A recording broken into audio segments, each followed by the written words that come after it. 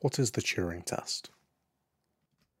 In 1950, English mathematician Alan Turing posed the question Can machines think?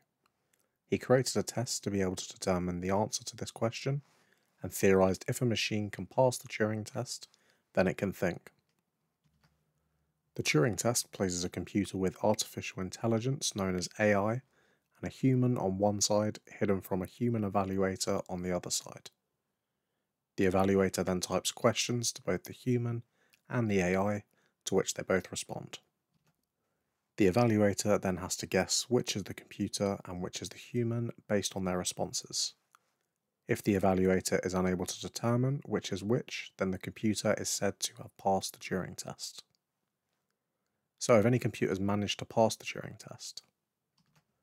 In 1966, a program called ELIZA attempted the Turing test. The program was a chatbot that looked for keywords in questions asked to it and attempts to pose those keywords back into a question to the evaluator. If it doesn't detect a keyword, it will output a generic response. It didn't fool enough evaluators to pass the Turing test. It attempts to mimic a very basic therapist. I have left a link in the description below that allows you to talk to the bot from 1966 yourself.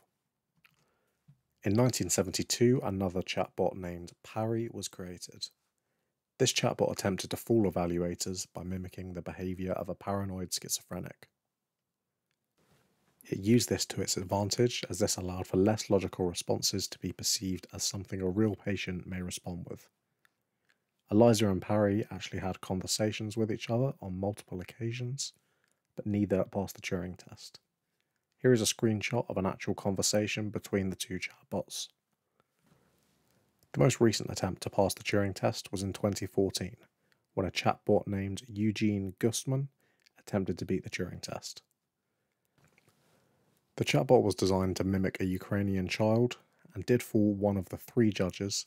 However, it was heavily criticized due to the chatbot mimicking someone from Ukraine.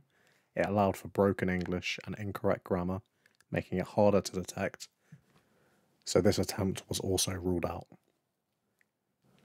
To date, no computers have passed the Turing test and successfully fooled all judges. However, with recent advances in AI, it could happen sooner rather than later. Thanks for watching. Please consider liking and subscribing if you found this video useful.